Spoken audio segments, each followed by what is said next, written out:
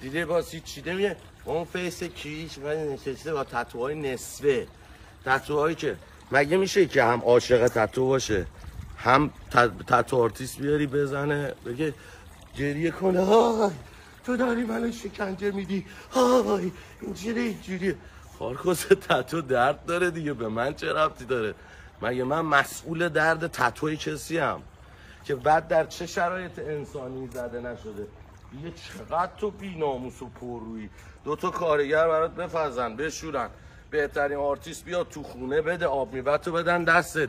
گریه کنی بیان بغلت کنن دلداریت بدن. بگی دردم میاد بی بزنن. بگی فلان همه بهت قرص نمی‌دونم کاهش درد بدن. خلاصه.